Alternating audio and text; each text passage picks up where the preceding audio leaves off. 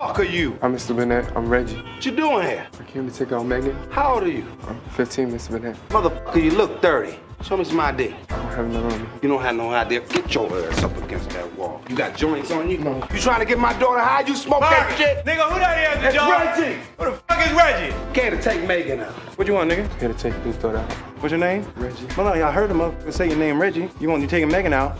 How old is you? 15.